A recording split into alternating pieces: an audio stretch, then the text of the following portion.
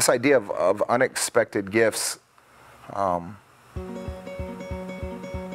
it, speaks to the mystery of what community becomes for us. It speaks to sort of the things that, that we receive in, in our friendships and our relationships that, that we never would have thought would have been a fruit of that. It's, it's, uh, it's crazy. that the things that draw us to individuals, the things that we find attractive in someone else or compelling in a, in a group or a circle of friends, um, is just sort of the, it's, it's sort of the buzz, it's sort of the vibe that, that we give off when, when we find natural chemistry together.